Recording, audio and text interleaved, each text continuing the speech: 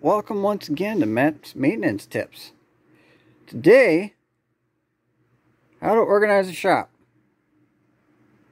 No, no, no, no, no time for that yet. Today, we are working on a DeWalt brushless chainsaw that has stopped oiling. Now, this is the oil pump What's supposed to happen is there's a little pin that rides in this groove right here. Focus. There we go. Rides in that little groove. Pushes this pump back and forth as it spins around.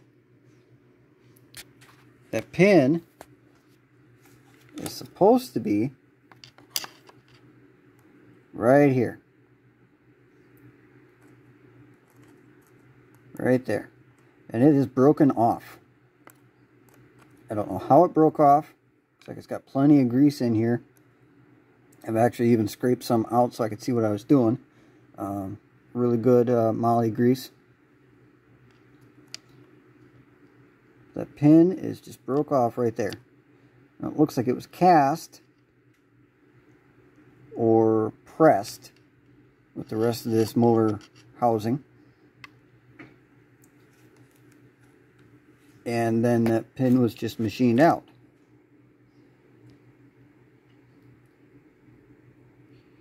That looks like a very, very weak piece of this whole puzzle. That's just very poor planning. Would I recommend one of these saws? Yeah, maybe. Do I like that little uh, little piece there? No. No, I do not. Anyway, that's all I got for now. Talk to you later.